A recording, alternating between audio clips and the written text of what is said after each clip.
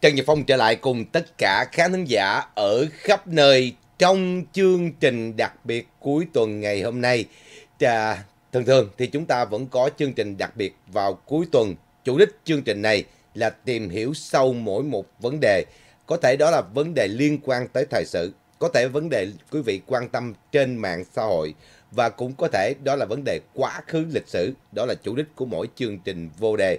Trước hết cảm ơn, à, xin lỗi quý vị, chương trình đặc biệt Trước hết cảm ơn tất cả khán thính giả ở khắp nơi đã chọn channel của Phong để theo dõi các bản tin hàng ngày, các bài nói chuyện, phân tích, đối chiếu, so sánh trên tinh thần chủ quan của Phong, cũng như là phần thảo luận của tất cả chúng ta sau mỗi một bản tin. Và như thường lệ, mỗi cuối tuần chúng ta vẫn có chương trình đặc biệt. Và trước khi đi vào chương trình đặc biệt thì tôi vẫn nhắc quý vị về cái channel của Phượng Mai Official. Mong là quý vị vẫn tiếp tục qua bên đó ghi danh xem tất cả những cái chương trình của anh chị em nghệ sĩ để hỗ trợ cho họ có tinh thần có thêm những sản phẩm mới dành cho tất cả khán thính giả về văn học, nghệ thuật cũng như là về à, à, giải trí. Mong là quý vị qua đó hỗ trợ anh chị em bên đó họ cần cái sự hỗ trợ của quý vị nhiều hơn. Và trong tuần tới thì tôi cũng sẽ có một à, à, số những cuộc phỏng vấn liên quan tới những cái à, khía cạnh khác của văn hóa Việt Nam. Trong đó thì à, tôi sẽ có cuộc nói chuyện với lại à, nữ danh ca Thanh Lan trong cuốn sách mới hồi ký về à, cuộc đời của chị cũng như là nhà văn, nhà báo và nhà sử học Phạm Trần Anh à, cũng sẽ có những cái à, cuộc tâm tình với anh Phạm Trần Anh về dòng lịch sử của Việt Nam và có rất nhiều những điều thú vị mà anh Phạm Trần Anh đã à, à, tìm hiểu được và đã phát hiện ra và có thể là chúng ta sẽ cảm thấy bất ngờ với những phát hiện của anh. Cuộc nói chuyện này sẽ được phát ở trên cái channel của Phượng Mai Official vào tuần tới. Xin quý vị nhớ đón nghe, có rất nhiều những chi tiết rất hay. Ok quý vị, đó là cái phần mà giới thiệu với quý vị về cái channel của Phượng Mai Official, một channel về giải trí và nghệ thuật văn hóa. So với channel của tôi là về thời sự nhiều hơn và phân tích những vấn đề xã hội nhiều hơn. Quý vị, trong cái chương trình đặc biệt của cuối tuần này thì à, một cái đề tài mà tôi đưa ra tương đối khá rộng nhưng mà chúng ta sẽ tìm thấy được những điểm tương đồng và sự nguy hiểm mà chúng ta đang phải đối diện tại Á Châu với cái chủ nghĩa độc tài toàn trị của Cộng sản. Quý vị, nếu mà à, xét vào cái giai đoạn mà từ sau đệ nhị thế chiến, ok quý vị, sau đệ nhị thế chiến cho tới khi à, cho tới bây giờ thì chúng ta có thể nói rằng là có ba cái biểu tượng khá mạnh của khu vực Á Châu. Lúc đó Singapore chưa là cái gì, à, Đại Hàn cũng chưa có một cái à, sự phát triển gọi là đột phá nào. Riêng ngoài trừ Nhật Bản là cái quốc gia đã có sự quản trị suốt 7 năm của người Mỹ, họ có một cái hướng đi khác do đó tôi không tính Nhật Bản vào trong cái à, gọi là cái biểu tượng quả chồng. Châu. Phải nói rằng trong cái giai đoạn từ năm 1945 trở về đây thì quý vị ba mảnh đất mà được xem là à, phát triển rất đẹp và rất đáng chú ý của cả khu vực Á Châu. Trong đó thứ nhất phải nói là mảnh đất Hồng Kông. Thứ hai là mảnh đất của miền Nam Việt Nam tức là Việt Nam Cộng Hòa. Và thứ ba đó là mảnh đất của Đài Loan. Ba mảnh đất này được xem là ba cái biểu tượng phát triển khá tốt của toàn bộ khu vực Á Châu. Quý vị, thời điểm mà từ năm 1945 cho tới năm một à, cho tới sau này. À, Đài Loan thì tôi tính từ năm 1949 tại vì năm 1949 thì tưởng giới thạch đã chính thức à, đưa tất cả những cái à, à, lực lượng của ông ra ở Đài Loan và lập quốc tại đây. Coi như mình tính từ cái dấu mốc năm 1950 phải nói là từ năm 1950 trở về sau này thì à, lúc đó Singapore mới tách rời ra khỏi Malaysia. Không phải là cái vùng đất tốt và đó là được xem là cái vùng đất à, còn nhiều nhiễu nhương Đài Loan, Hồng Kông và miền Nam Việt Nam được xem là ba cái vùng đất phát triển khá tốt. Tuy nhiên, miền Nam Việt Nam, tức là Việt Nam Cộng Hòa, thì đã bị đứt năm 1975. Năm 1975 thì Cộng sản đã cưỡng chiếm miền Nam, khiến cho miền Nam bị đứt đoạn. Và Hồng Kông thì chính thức sự đứt đoạn của họ, nếu nói đúng là trao trả cho Trung Quốc năm 1997 Tuy nhiên, thời điểm đầu của những giai đoạn đầu của năm 1900 sau năm 1997 thì Hồng Kông vẫn giữ được bản sắc của họ cho tới năm 2014, tức là từ 2012 tới 2014 là lúc mà Bắc Kinh đã bắt đầu siết chặt tất cả những cái uh, niềm tự do của Hồng Kông dẫn tới cuộc cách mạng dù năm 2014.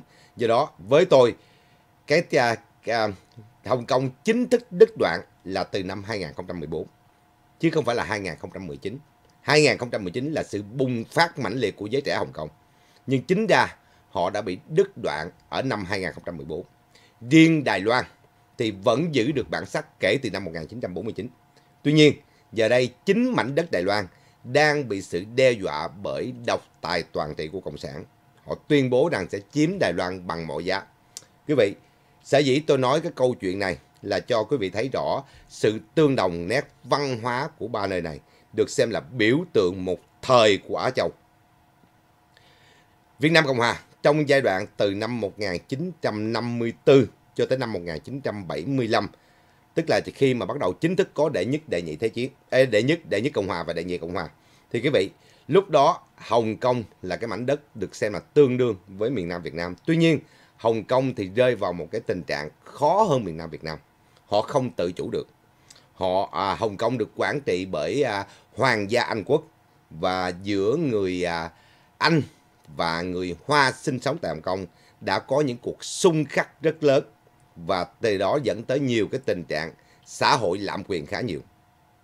Đài Loan thì bị cai trị khá gọi là sắc máu dưới cái à, quyền của tưởng giới thạch lúc mà ông ta lập quốc ở tại Đài Loan. Thì trong giai đầu đoạn đầu lập quốc thì à, phải nói rằng tưởng giới thạch tưởng giới thạch đã áp dụng một cái chính sách về à, quân phiệt rất là gây gắt trên mảnh đất Đài Loan. Riêng chỉ có miền Nam Việt Nam là từ năm 1963 tức là sau cái biến cố của à, cái con à, cái biến cố năm 1963 à, chúng ta đã có một cái thời gian khá hỗn loạn trước khi mà à, ông à, Thiệu chính thức trở thành tổng thống của nền đệ nhị cộng hòa thì quý vị bắt đầu từ giai đoạn đó thì cũng là cái giai đoạn mà có cuộc chiến tranh với Bắc Việt nhưng song hành với cuộc chiến tranh Bắc Việt thì miền Nam đã phát triển khá tốt so với Hồng Kông và Đài Loan tức là ba cái biểu tượng quả chầu Châu lúc đó Malaysia, Indonesia, Cambodia, Thái Lan không có cửa. Không có cửa với Hồng Kông, Đài Loan và Việt Nam, miền Nam Việt Nam. Quý vị, đó là một cái điều mà tôi khẳng định với quý vị. Thời điểm đó là cái nền kinh tế của miền Nam Việt Nam khá mạnh. Thứ nhất, thứ hai, sự phát triển rất đồng đều. Và lúc đó quý vị, gần như chúng ta là một cái vựa lúa của Đông Nam Á. Tức là cái nguồn xuất cảng nông sản của chúng ta chiếm lĩnh toàn bộ Đông Nam Á. Ngay cả Đài Loan và Hồng Kông cũng lệ thuộc vào cái nguồn nông sản của miền Nam Việt Nam. Bởi vì Đài Loan là cái đảo quốc, họ không có nhiều cái phần gọi là trồng trọt giống như miền Nam Việt Nam. Còn Hồng Kông là một mảnh đất đô thị nhiều hơn. Họ cũng không phát triển về nông nghiệp nhiều. Họ vẫn lệ thuộc cái nguồn nông sản của miền Nam Việt Nam. Và quý vị có thể nói là thời điểm đó thì chúng ta song hành với Hồng Kông. Có thể là hai mảnh đất mà có thể tương đương với nhau và bằng chứng quý vị, rất nhiều gia đình của những người Hồng Kông, họ đã tới miền Nam Việt Nam sinh sống. Chứ không phải là người Việt chúng ta qua Hồng Kông sinh sống. Thời điểm đó quý vị biết là dưới à, trước khi mà ông Thiệu lên, thì có rất nhiều những người cảm thấy cuộc sống khó khăn ở Macau và Hồng Kông. Họ tìm đến Việt Nam, và đặc biệt là khu vực chợ lớn. Họ tìm đến và họ sinh sống cho tới khi ông Thiệu lên và trước đó ông Diệm đã từng ban hành nhưng chưa có áp dụng. Khi mà Tổng thống Thiệu lên, ông buộc tất cả những người Hoa muốn sinh sống trên lãnh thổ Việt Nam thì phải nhập quốc tịch Việt Nam. Thì thời điểm đó, hầu hết những à, đa số là đều nhập quốc tịch Việt Nam. Một số ít còn lại, họ quay trở về Hồng Kông. Thì trong đó quý vị còn nhớ là có gia đình của nam tài tử nổi tiếng Lữ Lương Vĩ đó. Thì à, gia đình của Lữ Lương Vĩ cũng trở về Hồng Kông ở thập niên 70 sau khi mà họ à, đại khái là họ à, muốn vẫn muốn trở về quê cái quê hương gốc của họ chứ họ không muốn nhập quốc tịch Việt Nam. Tuy nhiên nhiều một số nhiều người Hồng Kông đã nhập quốc tịch Việt Nam và bập bẹ nói tiếng Việt thì quý vị ở chợ lớn quý vị vẫn gặp họ gia đình của họ đến từ Hương Cảng và một số thì đương nhiên đến từ Quảng Châu thì quý vị điều này tôi cắt nghĩa cho tất cả khán thính giả biết là cái thời điểm của từ năm 1900 thập niên 1950 kéo dài cho tới năm 1975. Thời điểm đó có thể nói rằng là hai cái biểu tượng, ba cái biểu tượng mạnh mẽ nhất của khu vực Á Châu là Hồng Kông, à, miền Nam Việt Nam và Đài Loan. Họ phát triển rất đều. Hồng Kông đã phát triển rực rỡ, họ đã có những cái associate, tức là họ đã có những cái liên hệ về thương mại, về văn hóa với lại Hoa Kỳ. Thì quý vị biết thời điểm đó là Hồng Kông được xe được nhớ, được nhắc nhở rất là nhiều trên báo chí của Hoa Kỳ. Và báo, báo chí của Hoa Kỳ cũng nhắc nhở rất nhiều đến à, miền Nam Việt Nam. Có lẽ bởi vì một phần là do cuộc chiến người Mỹ can dự tại Việt Nam. Tuy nhiên, bên cạnh cuộc chiến thì cái sự phát triển của miền Nam Việt Nam vẫn là một cái à, điểm đáng chú ý của ít nhất là của khối Tây Phương. So với Đài Loan, lúc đó chỉ là một cái bóng mờ. Lúc đó Đài Loan chỉ là một cái bóng mờ thôi quý vị. Gần như là rất là mờ nhạt ở trong cái à, cái Á Châu. Thì quý vị, tôi cắt nghĩa cho quý vị nghe là để thấy rõ là cái sự phát triển của hai vùng lãnh thổ này rất là tốt. Miền Nam Việt Nam và Hồng Kông.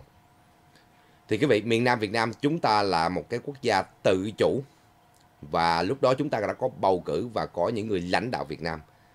Còn ngược lại bên Hồng Kông thì họ vẫn nằm dưới sự lãnh đạo của Hoàng gia, Hoàng gia Anh và luôn luôn bổ nhiệm một vị toàn quyền dưới dưới à, điều khiển toàn bộ của mảnh đất Hồng Kông.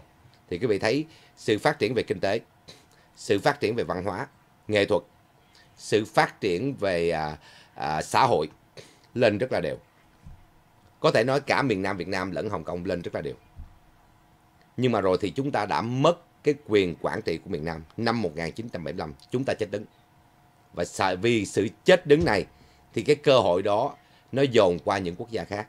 Singapore trỗi dậy là một cái nền kinh tế tiềm năng sau một thời gian mà Lý Quang Diệu đã à, cải tổ và coi như gần như là ông ta đã thay máu toàn bộ đất nước Singapore. Thì quý vị, tới thập niên 80, Hồng Kông, Đài Loan, Singapore và Malaysia trở thành bốn con rồng của Á Châu. Thì quý vị thấy được là là Hồng Kông đã khẳng định được cái tư thế của họ. Giữa thập niên 80, chính thức thì Hồng Kông đã trở thành trung tâm tài chính của thế giới. Thì quý vị, năm 1997, Hồng Kông bị trao trả về cho Trung Quốc. Thì quý vị, họ đã mất đi một nửa cái lực. Hầu hết những tinh anh của Hồng Kông đã đi định cư ở những quốc gia khác. Canada, Úc, Hoa Kỳ, Anh. Và phân nửa còn lại vẫn bám trụ với mảnh đất Hồng Kông. Họ tin vào cái sự cam kết của Anh quốc vẫn bảo đảm cho nền tự trị của Hồng Kông 50 năm bất biến.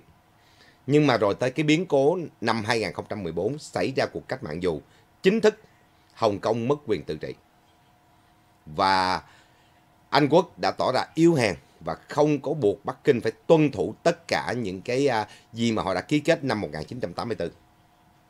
Quý vị, mảnh đất Hồng Kông đã rơi vào tình trạng gọi là bế tắc và không phát triển được. Bên cạnh đó, sự trỗi dậy của nền kinh tế Trung Quốc và thẩm quyến nằm cách Hồng Kông 2 tiếng đồng hồ xe lửa đã trở thành một cái nơi thu hút tất cả các nguồn đầu tư.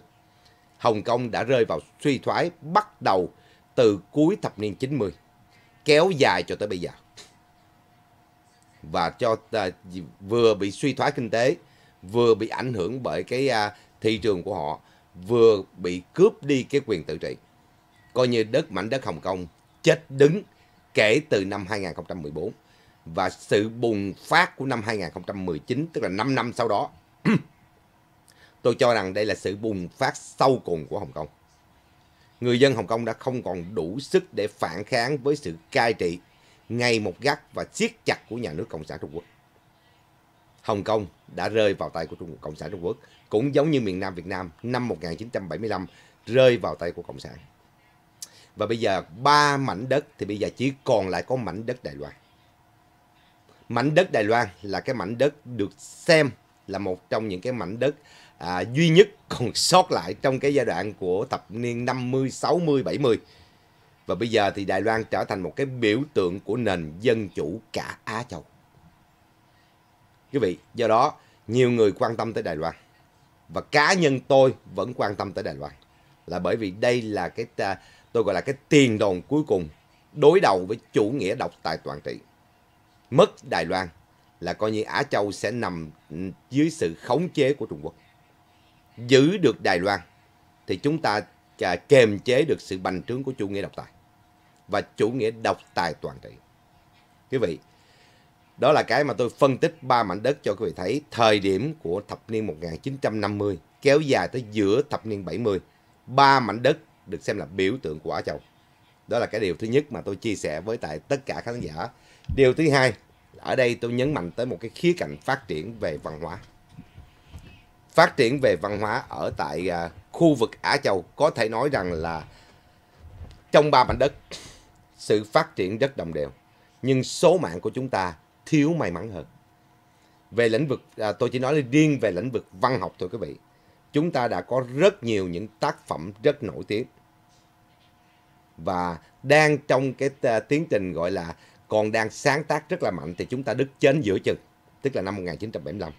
Thời điểm đó các tác phẩm của Duyên Anh, Chu Tử, của Nguyễn Mạnh Côn và một số những à, nhà văn nổi tiếng của miền Nam từ à, Bình Nguyên Lộc, Lê Xuyên vân vân là đã chinh phục được khối miền Nam và đã có một số những tác phẩm của Duyên Anh, của Chu Tử bắt đầu được chuyển dịch qua Pháp ngữ và Nhật ngữ. Tôi chưa nói tới Anh ngữ. Thì quý vị, lúc đó có lẽ là chúng nếu không bị cái dấu mốc năm 1975, tôi nghĩ rằng những tác phẩm này sẽ bắt đầu chinh phục những quốc gia xung quanh. Ngược lại, Hồng Kông hơn chúng ta, Đài Loan hơn chúng ta mảng này. Từ thập niên 60 thì Hồng Kông đã có những à, ngòi bút được xem là chinh phục được cái khối khán giả của miền Nam qua cái ngòi bút dịch thuật của một số học giả người Hoa, những tác phẩm của Kim Dung à, của Hồng Kông hay là những tác phẩm văn học của Đài Loan như là lúc đó là hai cái bút mà được xem là khá nổi. Đầu tiên hết là Bào Quỳnh Giao về à, à, tình cảm lãng mạn hay là về những cái à, à, bài à, khai thác về cái nội tâm con người của ông Cổ Long, nhà văn của Đài Loan. Đáng tiếc ông chết sớm lắm, ông chết năm 1979. Thì quý vị, về văn học rõ ràng, thời điểm đó miền Nam có một cái sáng tác rất sâu rộng. Rất nhiều những tên tuổi và những tác phẩm liên tục ra đời mỗi năm. Hồng Kông cũng vậy, qua cái sự sức hút của Kim Dung, thì cái mức sáng tác của các nhà văn của Hồng Kông cũng đã sáng tác rất mạnh. Và ngày hôm nay quý vị đã coi những cái tác phẩm đó được chuyển thể thì thành điện ảnh thì quý vị biết là cái mức sáng tác họ rất mạnh. Rồi bên Đài Loan cũng vậy. Mặc dù là dưới chính quyền khá khắc khao của um, tưởng giới thạch nhưng mà cái sức sáng tác của Quỳnh Giao, của Cổ Long vẫn bộc phát lên và gần như chinh phục toàn bộ khối khán giả tại Á Châu. Thì quý vị, nhưng bây giờ thì quý vị thấy là Hồng Kông kể từ sau giai đoạn của Kim Dung thì Hồng Kông vẫn bật được những nhân tài khác. Ví dụ như là nhà văn Huỳnh Dị, một trong những cây bút mà ông cũng chết trước Kim Dung mấy năm. Điều lạ là Huỳnh Dị là chết trước Kim Dung. Kim Dung mất rồi mới tới Huỳnh Dị. À, à, Huỳnh Dị mất rồi mới tới Kim Dung, mặc dù Huỳnh Dị vẫn còn trẻ hơn Kim Dung rất là nhiều. Thì quý vị, Huỳnh Dị cũng là một trong những cây, cây bút rất nổi tiếng của Hồng Kông. Và được biết là à, rồi Đài Loan bắt đầu trỗi dậy và họ bắt đầu à, có những cái sáng tác theo chiều hướng của cái à, lối viết văn của Nhật Bản. Tức là trước đây thì Cổ Long, Quỳnh Giao vẫn viết theo cái lối truyền thống của người Hoa. Thì những cái tác phẩm đó nó dễ thích hợp hơn với lại cái à, khối Á Châu đặc biệt là người Hoa, người Việt vân vân. Nhưng mà khi mà à, Cổ Long nằm xuống rồi và bà Quỳnh Giao chuyển qua làm điện ảnh và mất à, bớt dần những cái sáng tác về văn học của bà thì cái thế hệ kế tiếp của Đài Loan họ đã sáng tác văn học theo cái trường phái của Nhật Bản. Tức là nó cô động hơn, nó có cái chiều sâu về suy nghĩ nhiều hơn, nhưng nó lại ít được đón nhận hơn. Thì quý vị, điều này tôi muốn phân tích cho quý vị thấy cái số mạng của ba vùng lãnh thổ Đài Loan, Hồng Kông và miền Nam Việt Nam. Thì quý vị, tôi cho rằng họ sẽ gì hôm nay tôi nói cái bài nói chuyện đã trong chương trình đặc biệt này tôi muốn nhấn mạnh lịch sử lặp lại. Có nghĩa là trước mắt chúng ta đã mất miền Nam Việt Nam gần nửa thế kỷ. Hồng Kông thì coi như mất từ năm 2014. Chính thức thì giao lại cho Trung Quốc năm 97, nhưng mà mất quyền tự trị là năm 2014. Và Đài Loan thì đang đứng trước sự đe dọa ngay một cây gắt của Cộng sản Trung Quốc. Tuy nhiên quý vị, giống như tôi nói, lịch sử lặp lại không ai giết được một nền văn hóa hay một dân tộc. Sự bùng phát đó nó sẽ trỗi dậy thời gian sau này. Sự là, gọi là bành trướng và cái chủ nghĩa áp đặt toàn trị của Cộng sản Trung Quốc đang là một cái mối bức hại rất lớn và kể cả chủ nghĩa Cộng sản nói chung nó đang khiến cho các dân tộc người Hoa lẫn người Việt, người Hoa ở Hồng Kông, ở Macau, ở Đài Loan và kể cả người Việt ở tại Việt Nam. Họ bắt đầu có những cái fight back, tức là họ bắt đầu có những cái uh, quay trở lại với lại cái quá khứ của họ. Mặc dù bây giờ thì tôi thấy rõ ràng là do cái xã hội băng hoại của Việt Nam khiến cho nhiều giới trẻ ở Việt Nam bắt đầu suy nghĩ lại cái thế hệ trước đó có một cái uh, có một cái lối sống cổ kính hơn không có băng hoại như bây giờ đây chỉ mới là nhan nhúm về khái niệm họ chưa có ý thức thật sự là tạo lại một kiến tạo lại một cái xã hội mà họ chưa bao giờ được nếm. Họ chưa bao giờ được nếm trong cuộc đời của họ. Họ chỉ được nghe nhưng chưa bao giờ được nếm. Nghe là nghe những thế hệ như tôi những tiền bối của tôi kể lại về cái uh, giai đoạn đẹp của cái sự phát triển về văn hóa, về kinh tế, về con người ở những cái thời điểm trước đó, thập niên 50, 60 và đến giữa 70. Họ chỉ nhìn thấy được cái hình ảnh bây giờ của Hồng Kông. Nhưng khi họ tìm tới những cái hình ảnh xa xưa của Hồng Kông, họ sẽ thấy được cái hình ảnh của miền Nam Việt Nam trong đó. Những cái hình ảnh của thập niên 60, 70 của Hồng Kông, nó cũng không khác gì cái hình ảnh của miền Nam Việt Nam trước năm 1975 cả. Và tôi cho rằng bây giờ do cái sự gọi là băng hoại của cái chủ trương về à, chính trị cực tả và thứ hai là sự bành trướng của chủ nghĩa độc tài toàn trị. Nó đang làm cho nhiều người dân ở các khu vực từ Đài Loan, Hồng Kông, Macau và Việt Nam. Họ đang khao khát quay trở lại cái nền văn hóa cũ họ vốn đã có và bị mất đi bởi sự băng hoại này sự băng hoại của chủ nghĩa cực tả, sự băng hoại của chủ nghĩa độc tài toàn trị đang tàn phá tất cả những cái nền tảng xã hội mà họ chưa bao giờ được à, nếm thử mặc dù được nghe rất nhiều. Do đó, với cái nhìn của tôi về cái à, cục diện tại Á Châu của giai đoạn tới, tôi cho rằng giới trẻ sau này họ có một cái nhìn khác hơn với bây giờ. Bây giờ là cái văn hóa của thực dụng, tiền trên hết bất chấp cả luân lý đạo đức, bất chấp của nền tảng xã hội, bất chấp giá trị của gia đình, bất chấp giá trị của tôn giáo. Đây là giai đoạn này. Nhưng tôi tin rằng giai đoạn kế tiếp, người ta sẽ quay trở lại với cái nền văn hóa cũ. Điều đó không tránh khỏi. Và tôi chứng minh cho quý vị thấy, quý vị còn nhớ thời trang. Ngành thời trang cứ vài chục năm, nó lặp đi lặp lại. Có một dạo thì à, quần ống túm rất là đẹp cái thời xa xưa đó quý vị. Rồi đến lúc đó người ta chê quần ống túm nhìn thấy nó à, không có gì mới mẻ. Người ta chê quần ống loa tức là quần ống rộng. Rồi bây giờ người ta lại quay trở lại quần ống túm. Thì quý vị đó là cái à, cái cái, cái lối của thời trang nó phát triển. Thì cái là dòng lịch sử cũng vậy. Khi mà tới một cái giai đoạn gọi là tới cùng cực của sự cực đoan tức là nó đẩy ra xã hội tới một mức băng hoại nhất. Thì lúc đó, mọi người sẽ quay trở về nguyên dạng. Tức là quay trở lại cái nguyên thủy của mình. Thì quý vị, do đó, tôi cho rằng đây là cái giai đoạn cực điểm của hai chủ nghĩa. Chủ nghĩa độc tài toàn trị và chủ nghĩa về cái nền chính trị cực tả. Nó đang đẩy thế giới đi vào cái sự cực đoan nhất. Và sau cái giai đoạn này, người ta sẽ tìm lại những giá trị cũ những giá trị mà người ta nghĩ rằng nó sẽ giữ cho xã hội à, ổn định hơn, con người bớt những xung khắc hơn và có cái nhìn nhân bản hơn. Còn bây giờ là cái xã hội thiếu nhân bản. Họ nhân danh rất nhiều những điều của nhân bản, nhưng chính họ ra luật, họ làm, họ thực hành và họ ban hành, họ điều hành quốc gia bằng những chính sách cực tả, trói buộc rất nhiều và xóa đi rất nhiều những cái giá trị tốt đẹp. Thì quý vị, trong giai đoạn này tôi cho rằng nó sẽ quay trở lại. Và tôi vẫn hy vọng ngày nào đó Hồng Kông, Đài Loan, Việt Nam, miền Nam Việt Nam vẫn quay trở lại cái giá trị cũ.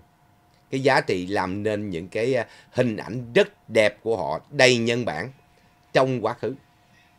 Quý vị đã nhìn, nếu mà quý vị không tin tôi, quý vị có thể vào Google, quý vị đánh chữ Hong Kong 1960, quý vị sẽ thấy được những cái hình ảnh tươi đẹp của Hồng Kông quý vị đánh vào Việt, South Việt Nam 1960 tức là năm 1000 thập niên 1960 quý vị sẽ nhìn thấy được những cái hình ảnh rất đẹp của miền Nam.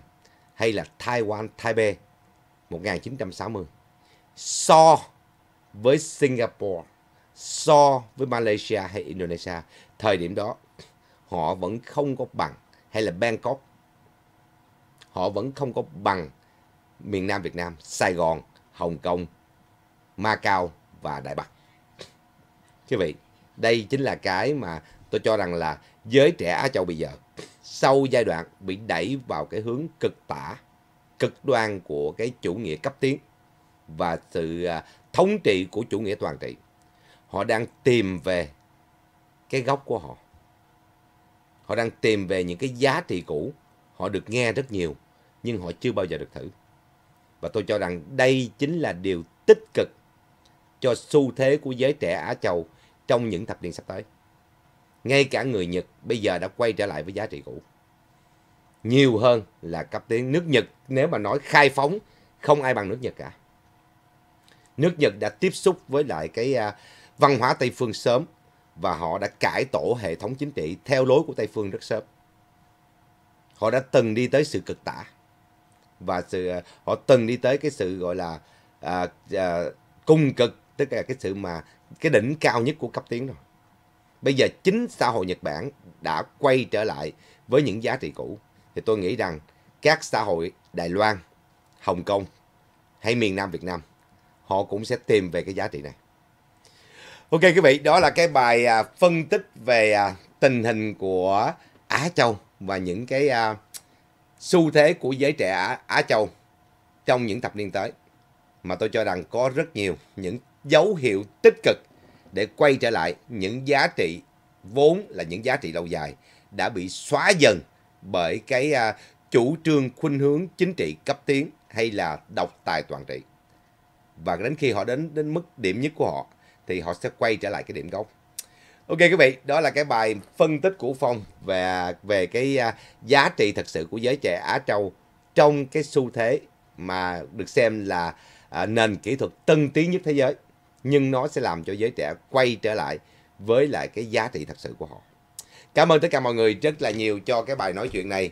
Phong sẽ trở lại cùng tất cả khán thính giả ở khắp nơi trong chương trình kế tiếp của TNP Channel. Xin quý vị nhớ đón nghe và theo dõi. Mến chào mọi người và chúng ta gặp lại sau. Bye bye.